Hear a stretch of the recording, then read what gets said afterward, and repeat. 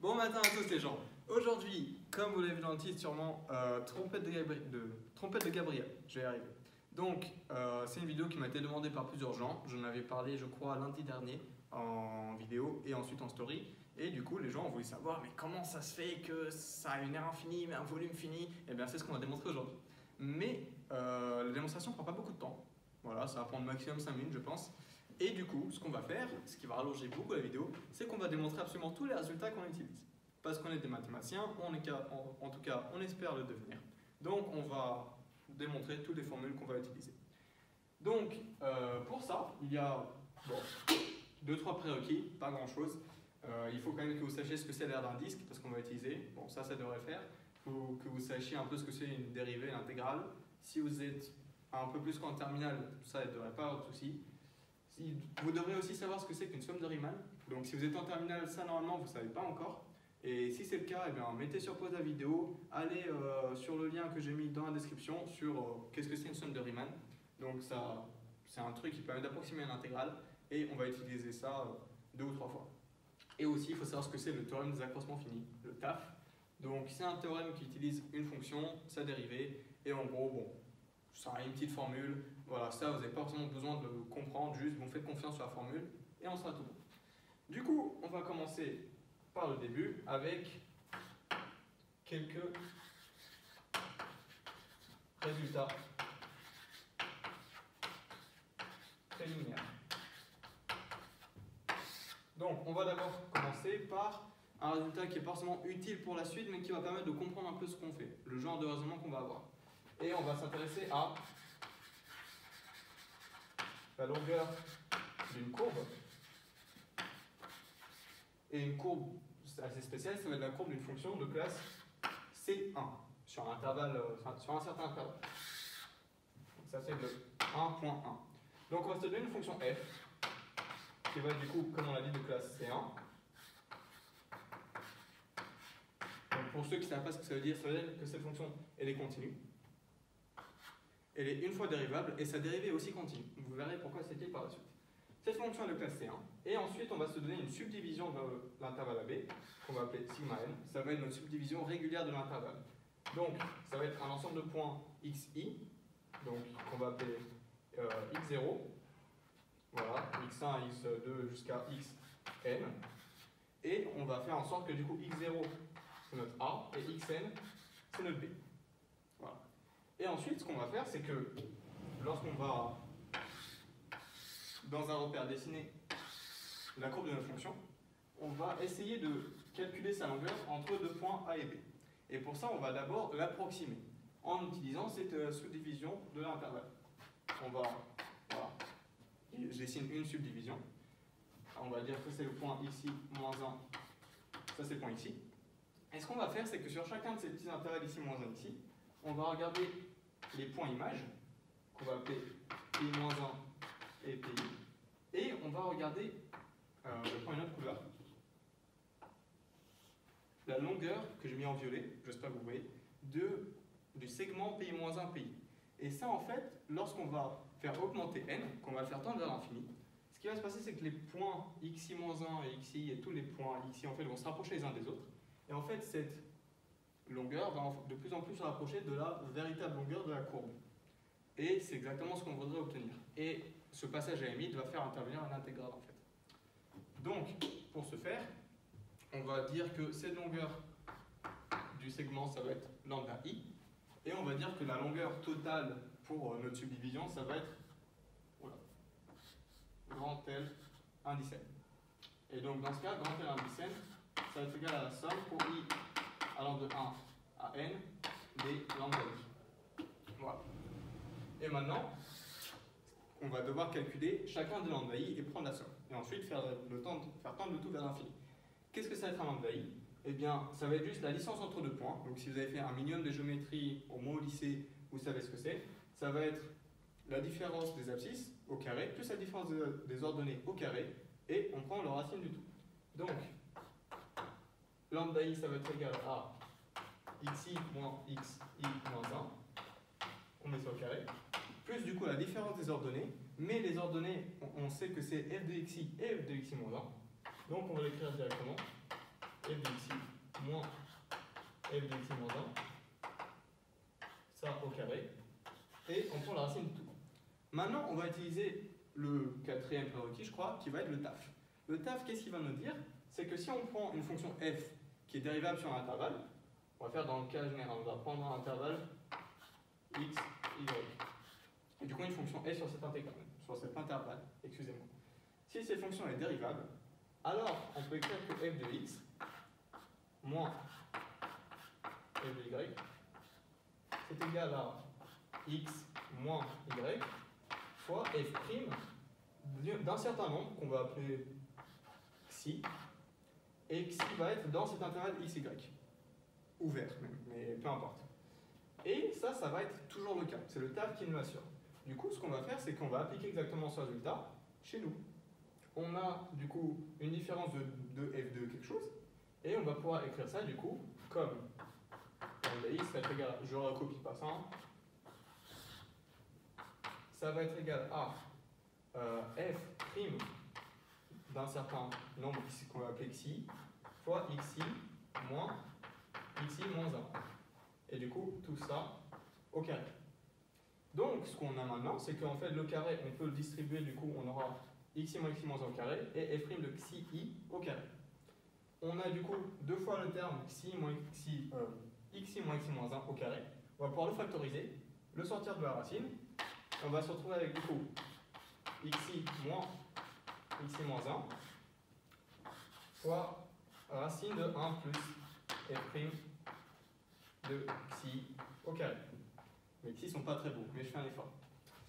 Voilà, donc ça, ça va être nos lambda i. Et en fait, notre ln, du coup, ça va être simplement la somme pour i allant de 1 à n d xi moins xi moins 1 racine de 1 plus f' de xi i au carré. Voilà. Et ça, ça va être, pour ceux qui ont déjà vu le truc, ça va être une somme de Riemann en fait. La somme de Riemann d'une certaine fonction sur un intervalle, ça va être précisément les xi, euh, la somme pour y aller de 1 à n de xi moins xi moins 1, qui va être en fait une largeur d'un petit intervalle, fois la valeur de cette fonction en un certain point de l'intervalle. Et du coup, notre certain point ça va être xi, et notre certaine fonction, en fait, ça va être 1 plus f' au carré. Donc en fait, ça, ça va correspondre à la somme de Riemann de 1 plus f' au carré. Et maintenant, qu'est-ce qu'on en fait ces sommes de Riemann? Eh bien, si vous êtes allé voir encore une fois, il se trouve que cette somme de Riemann, lorsqu'on va faire tendre n vers plus infini, ça devrait converger vers une intégrale. Pourquoi? Parce que notre fonction f elle est de classe C1. Donc si elle est de classe C1, ça veut dire qu'elle est dérivable, mais en plus que sa dérivée est continue. Donc f' est continue, et donc racine de 1 plus f' au carré est continue aussi. Donc si elle est continue, ça veut dire que cette fonction est intégrable, et qu'en effet, on aura bien que cette somme va tendre vers l'intégrale de... Ah, je vais l'écrire. Du coup, lorsque n tend vers plus infini, ça, ça va tendre vers l'intégrale entre nos points A et B de notre fonction, qui va être euh, du coup 1 plus f' de x euh, au carré, racine de ça, dx. Et du coup, ça, ça va être ce qu'on appelle la longueur d'une courbe sur un intervalle. C'est pas une approximation ou quoi, comme dire des physiciens, c'est juste, c'est la définition même de ce que ça va être la longueur d'une courbe. Et comme je l'ai dit, ça, ça va pas vraiment nous servir en tant que tel, pas ce résultat-là, mais ça va nous servir pour voir le rejoindrement qu'on va avoir par la suite. Et ce qui va nous servir aussi, c'est la formule pour le lambda i, qui est ici. Ça, on va la réutiliser après. Voilà. Du coup, on va prendre un deuxième tableau. Et... Euh, non, on va monter plutôt. Voilà. Et du coup, on va faire le 1.2. 1.2 qui va être l'air d'un tronçon de cône.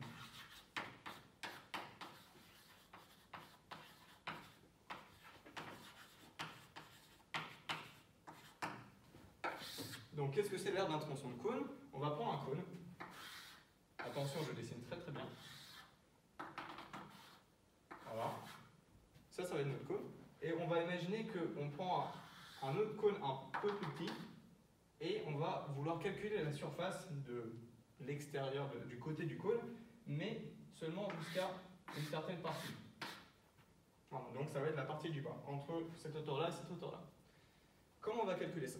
On va juste définir deux, trois longueurs, les appeler avec des lettres, pour pouvoir travailler après. Cette petite longueur-là, on va l'appeler petit r. Cette plus grande longueur-là, on va l'appeler grand R. Donc pourquoi petit r et grand R Parce que ce n'est pas des rayons. Le rayon, on pourrait dire que c'est ce rayon-là, qui va être le rayon de la base. Mais vous allez comprendre pourquoi je l'appelle comme ça dans un instant. Ça, on va plutôt appeler petit r. Voilà. Et donc, comment est-ce qu'on va calculer cette euh, surface? Déjà, comment est-ce qu'on calcule la surface d'un cône, en général? Sans tenir compte de la base, on va essayer de faire un, patron en fait de ce cône. On va déplier ce cône comme on faisait quand vous étiez en primaire, disons.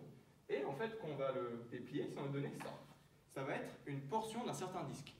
Cette portion, en fait, elle aura, un, ça va être une portion d'un disque d'un rayon grand R, qui est cette longueur-là. Et cette circonférence, pour l'appeler comme ça, ça va être tout simplement en fait la circonférence de la base, qui va être égale à 2pi fois l. Et donc, ainsi, l'air total du côté de notre cône, on va pouvoir dire que c'est S tot.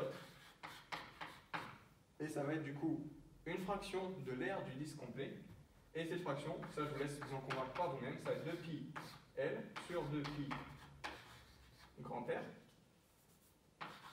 Voilà, c'est en fait la longueur de notre section sur la longueur totale. Et ça multiplié du coup par l'air du disque être pi r carré. Et lorsqu'on simplifie ça un peu, on va se retrouver avec pi petit l euh, fois grand R. Et maintenant, pour calculer notre surface du tronçon de cône, on va du coup imaginer le plus petit cône qui est à l'intérieur. On va pouvoir le redessiner ici. Et donc, on va pouvoir dire que notre... Euh,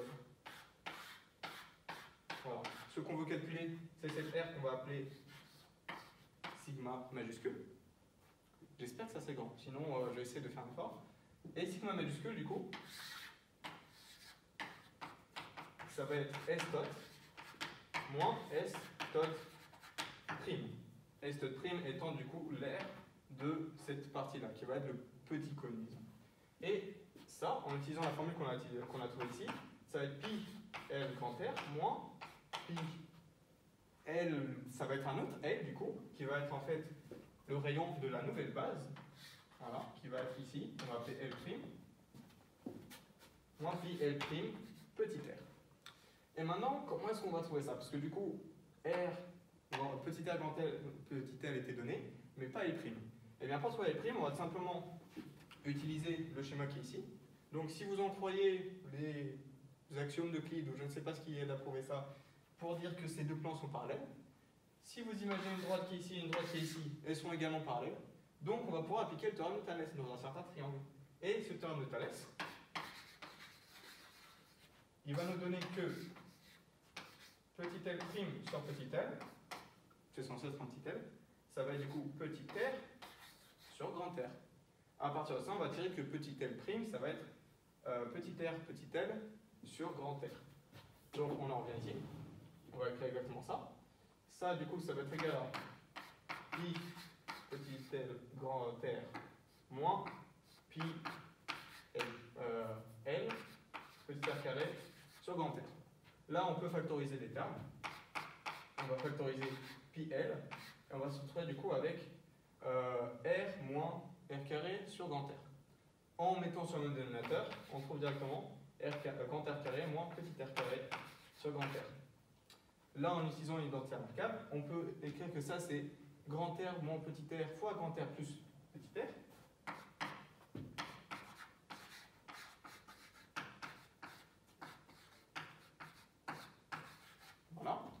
Et du coup, euh, ici, on va pouvoir recasser la fraction en deux. Et on va pouvoir écrire que ça, ça fait 1 plus petit r sur grand R. Or, petit r sur grand R, par ce qu'on a fait ici, c'est L' sur L. Donc, on va pouvoir écrire que ça, c'est L' sur L, en remettant sur le même dénominateur. Je vous accorde, c'est pas forcément le plus efficace, mais ça marche. Du coup, ça, c'est égal à pi L, facteur de R, euh, grand terme en petit r, sur L plus L' sur L. CL se simplifie. Et donc on va trouver que c'est pi grand R moins petit r, facteur de L plus L'. Donc, je suis d'accord que c'est pas forcément euh, la méthode la plus simple, et en tout cas, on n'utilise pas forcément les, euh, les longueurs qui sont les plus naturelles, mais ça va nous servir par la suite. Vous allez comprendre pourquoi. Ce que je vais faire maintenant, je vais continuer ici vite fait, et ensuite on va effacer les tableaux. On a un troisième résultat que cette fois je ne vais pas démontrer, et croyez-moi, vous préférez que ça, ça reste comme ça. Donc ça va être juste un résultat sur des sommes. Donc on va prendre, comme dans le euh, petit 1, 1, une fonction qui va être de classe T1, et on va se donner pareil une subdivision sigma n, avec du coup des xi, et on va prendre dans ces intervalles xi-1 et xi, on va prendre yi et des zi.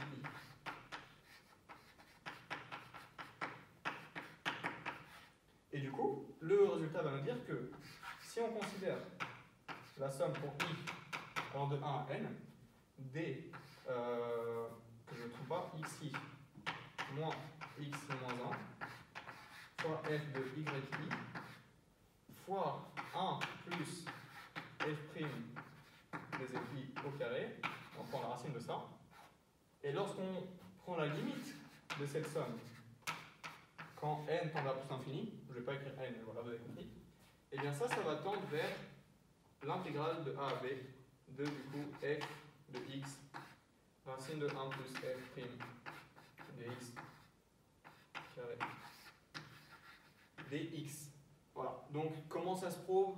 C'est tout un délire aussi à chaque fois de somme de Riemann, somme de Darboux, montrer que ça, bah, en fait, tu peux la borner faire vraiment, je crois, par des sommes de Darboux c'est plus long qu'autre chose et c'est forcément très intéressant pour nous. Mais ce résultat, on va l'utiliser dans quelques instants. Bon, c'est bon, j'ai effacé les tableaux du coup, euh, et maintenant on peut continuer. J'ai juste réécrit sur le côté les trois résultats dont on aura besoin.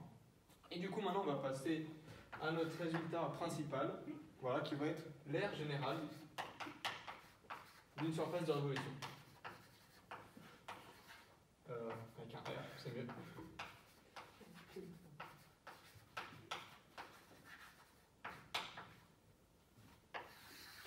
Donc pour, euh, pour définir une surface de révolution, on va avoir besoin du coup euh, d'une fonction f qui, comme dans les, premières, euh, les premiers exemples, va prendre de classe C1 sur un intervalle A, B. Fermé. Du coup, qu'est-ce que ça veut dire? Ça veut dire qu'elle est continue, dérivable, et que sa dérivée est continue. Ensuite, on va se donner exactement comme avant une subdivision sigma n qui va être égale à x0, x1, tout ça, tout ça, jusqu'à xn ça va être la subdivision régulière. Et ensuite, ce qu'on va pouvoir faire, c'est approximer notre R en utilisant cette subdivision. Alors comment on va faire ça? Attention, gros gros dessin. Donc ceci est censé être un repère dans l'espace. Voilà, donc ça, ça va être notre axe X, notre axe Y, et ça, notre axe Z. On va donc dessiner d'abord la courbe de la fonction dans ce plan x, y. Notre variable, ça va être x, et du coup, notre courbe va ressembler à machin comme ça. On va se donner du coup notre intervalle, A, B, et notre subdivision. Et maintenant, avant, j'aurais dû faire avant la subdivision, ce qu'on va faire avec cette courbe, c'est qu'on va la faire tourner autour de l'axe X. C'est comme ça qu'on va créer notre surface de révolution. Donc, grossièrement, ce que ça devrait donner, j'essaye de dessiner un truc qui a à peu près du sens. Voilà. J'aurais dû faire ça plus haut, mais pas trop le choix. C'est que du coup, en dessinant juste un bout de la surface, on va cut une certaine partie pour qu'on puisse voir à l'intérieur. On va du coup avoir un truc qui va tourner comme ça. Voilà. Et donc, en utilisant notre subdivision, on va approximer ces terres. Comment on va approximer? En fait, en disant que en disant que notre R total pour la division sigma n, on va appeler grand Sn, on va dire que c'est la somme pour i allant de 1 à n de plusieurs euh, r qui vont être plus petites. Et ces r plus petites, on va prendre sur, prendre sur chacun des petits intervalles. Donc on va se donner un intervalle, disons, celui-ci, ça, ça va être xi moins 1, xi. On va prendre du coup les points correspondants sur la courbe, qui vont être pi moins 1 et pi. Et donc, cette courbe, du coup, on va l'approcher, comme on avait fait pour la longueur d'une courbe, par le segment PI moins 1 pi. Et donc ce segment, en le faisant tourner aussi autour de l'axe x, on va le retrouver ici du coup. Voilà, on va, ça va un truc comme ça. Ça va être un segment qui du coup va, euh, il devrait être dans l'autre sens, mais peu importe. Voilà. Il va en fait créer exactement ce qu'on avait vu dans le deuxième point, un tronçon de cône.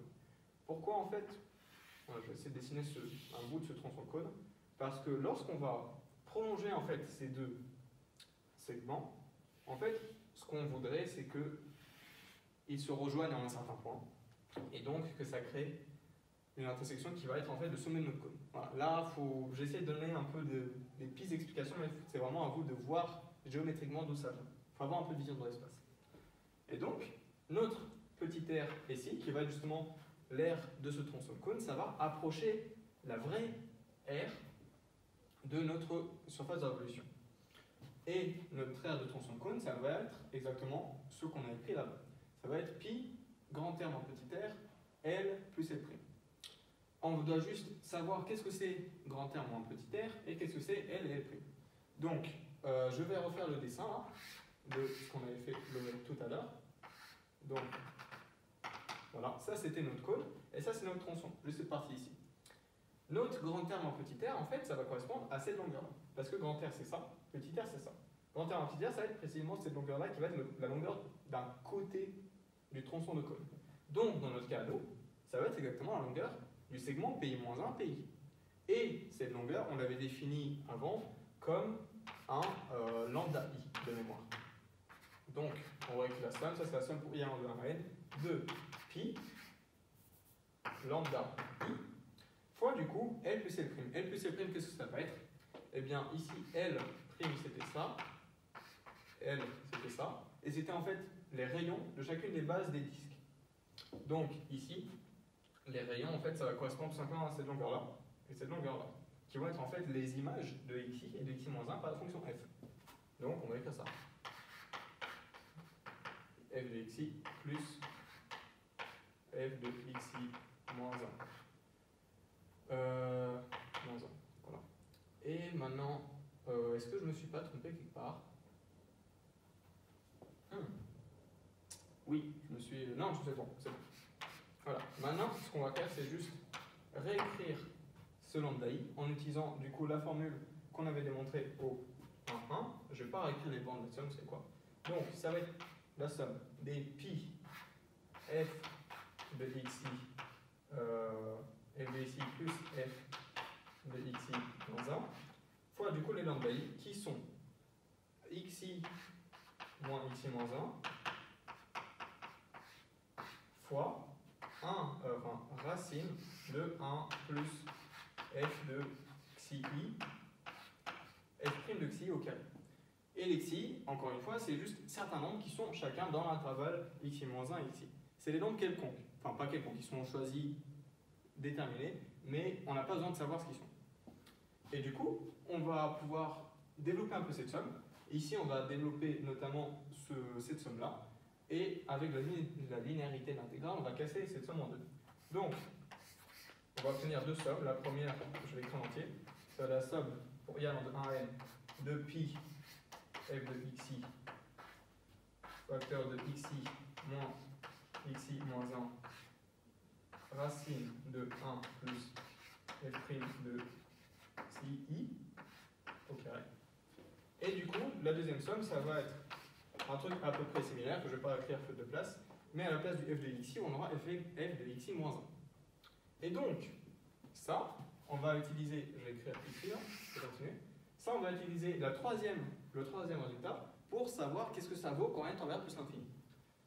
On remarque qu'en fait, euh, c'est à peu près la même chose, un facteur pi près qu'on peut sortir de la somme. On aura du coup, à la place des zi, on aura les xi, et à la place des yi, on aura les xi d'un côté et les xi moins 1 de l'autre. Donc, tous ces nombres, ils sont bien comme yi et zi devaient être dans les intervalles, dans les intervalles, oui, xi moins 1 ici.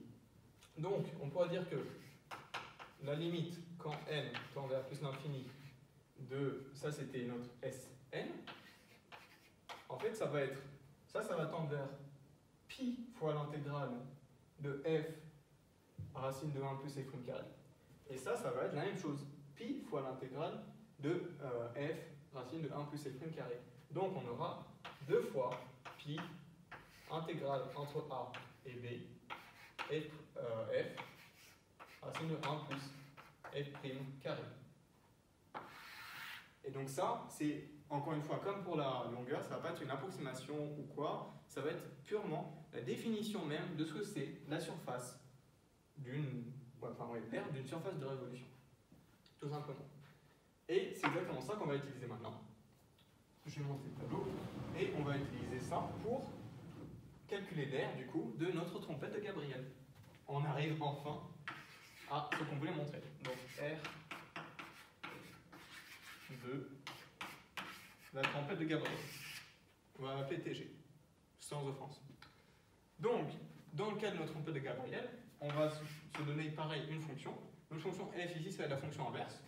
Du coup, qui à x associe 1 sur x. Et on doit apprendre sur un certain intervalle.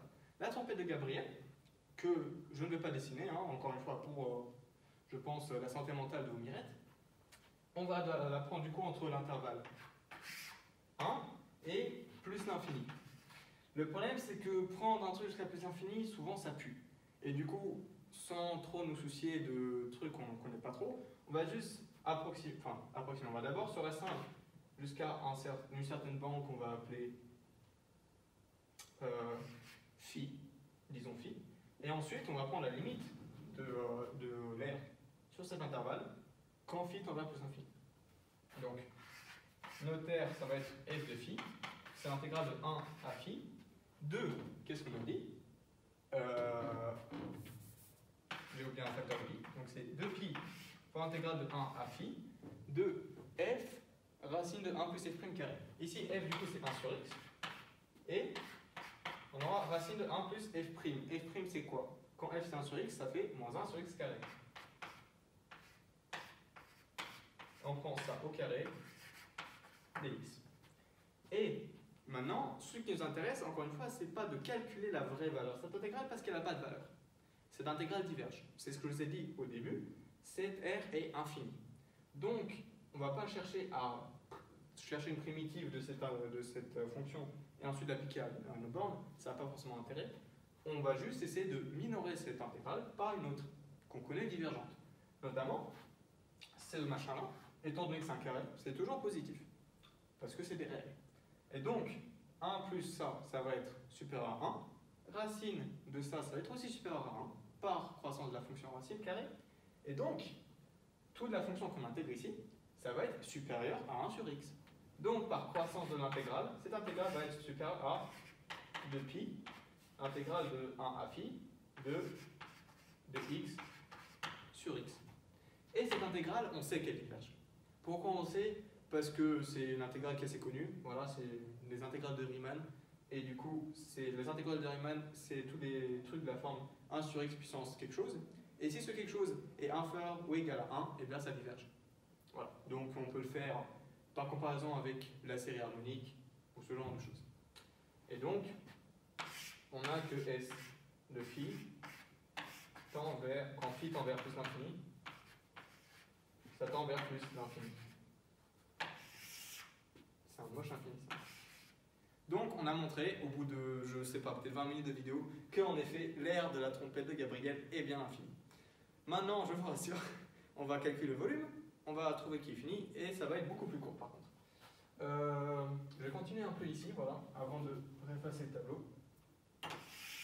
Et du coup, comme avant, on va d'abord faire le cas général. On va calculer, du coup, ça c'est un grand 4, le volume ça va pas être une surface, mais euh, un solide de révolution. Attention, c'est partie pour dessin. Donc, comme avant, on va se donner un repère dans l'espace. On va prendre toujours une fonction qui est de classe C1, blablabla.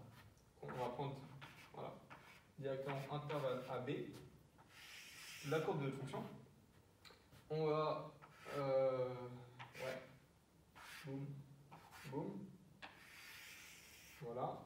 on va faire tourner ce machin.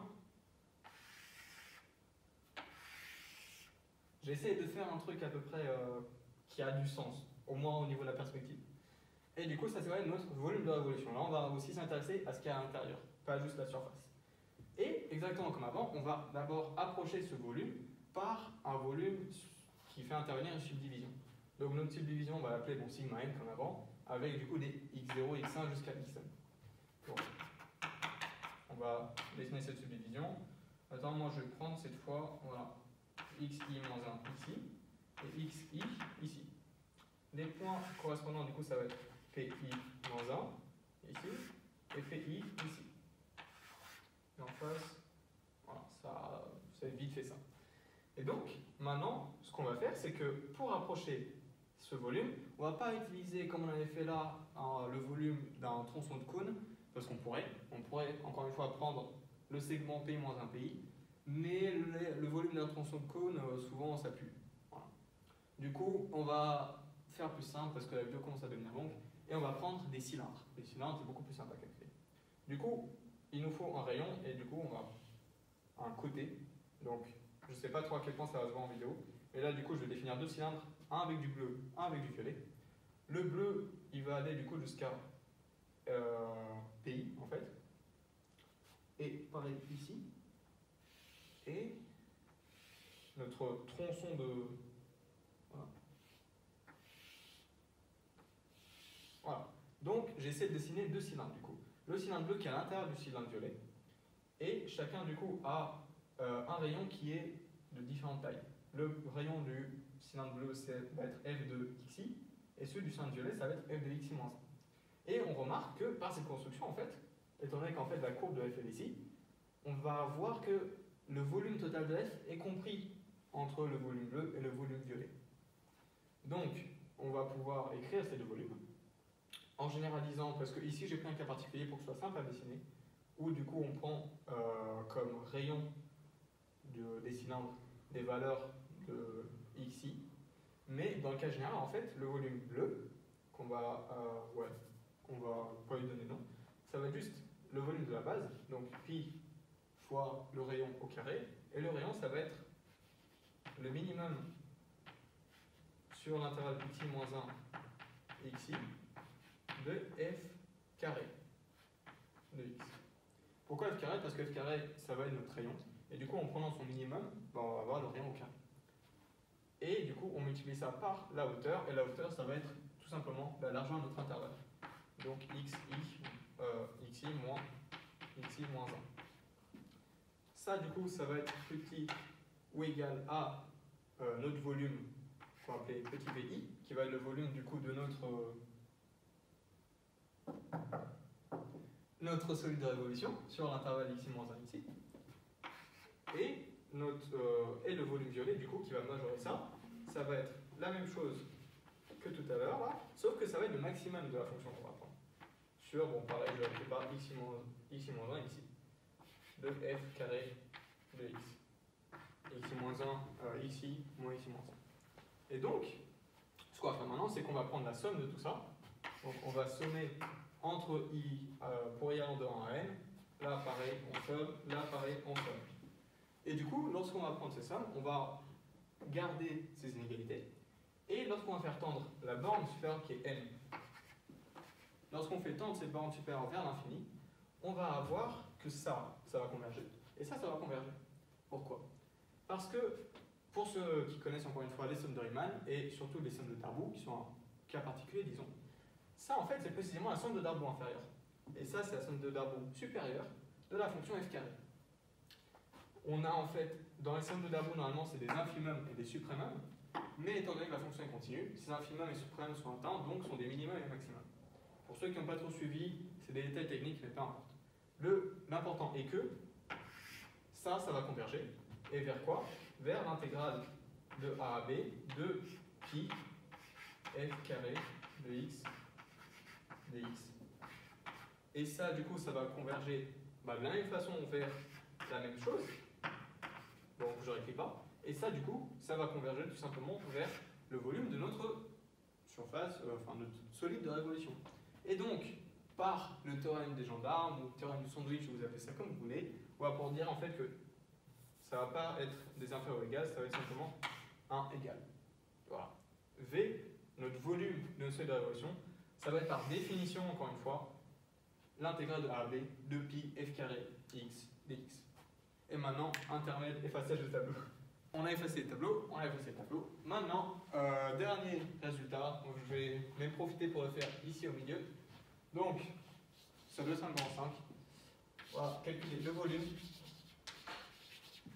de la trompette de Gabriel. Et du coup, comme avant, on doit prendre une fonction. Notre fonction, ça va être toujours la même que pour l'air. Ça va être la fonction f de x égale 1 sur x, entre 1 et plus infini. Et comme pour l'air, on va pas calculer jusqu'à plus infini directement. On va d'abord se donner jusqu'à une borne phi. Et on va calculer v de phi. En utilisant la formule qu'on a faite juste avant. Ça, ça va être égal à euh, l'intégrale de 1 à phi, pi fois euh, f carré de x dx. En remplaçant f, du coup, ça, ça va être l'intégrale de 1 à phi de pi sur x carré dx. 1 sur x carré, quand on intègre, ça va nous donner moins 1 sur x. Donc ça va donner moins pi sur x euh, appliqué aux bornes 1 et phi. Et ça, du coup, ça va donner moins pi sur phi plus pi. Et maintenant, quand on prend phi tend vers plus l'infini, ce terme-là va tendre vers 0. Donc, en fait, on va se retrouver uniquement avec qui va être égal à notre volume. Donc, on a montré ainsi que notre volume est bien fini, et en plus, qui vaut la constante mathématique la plus connue de l'univers. C'est quand même curieux. Bon, ça, j'ai pas l'explication. Mais maintenant, j'ai l'explication de pourquoi, euh, bah, en effet, c'est bien fini. Et vous l'avez aussi. Donc, pourquoi c'est intéressant maintenant tout ça? En fait, l'infini pour beaucoup de gens qui, sont, qui font ou pas des mathématiques, c'est juste un nombre peut-être, c'est un truc un peu plus bizarre qu'un nombre, qui est juste la plus grande chose qu'on peut imaginer. Mais en fait, c'est leur intuition première, mais cet exemple montre bien qu'en fait, on a une intuition très très mauvaise de ce que c'est que l'infini. Cet objet, c'est précisément un truc qui nous paraît d'une dimension infiniment grande, qui a du coup bah, bien une longueur infiniment grande, une surface infiniment grande, mais qui est pourtant un volume parfaitement fini. Et ça devrait en tout cas défier toutes vos intuitions. Donc c'est tout l'intérêt de cette anecdote, de nous montrer que tout ce, qu'on, tout ce dont on veut avoir l'intuition bah, n'est pas forcément vrai, et qu'il faut beaucoup plus s'attacher aux théories mathématiques derrière, donc aux formules, aux démonstrations, que juste à notre intuition première. L'intuition est uniquement faite pour nous donner des idées de démonstration, mais pas pour nous donner des idées de résultats. Voilà. Je vais finir là-dessus. Merci à tous d'avoir regardé. Euh, partagez, abonnez-vous, suivez-moi sur Insta, et puis je vous dis à la prochaine. Ciao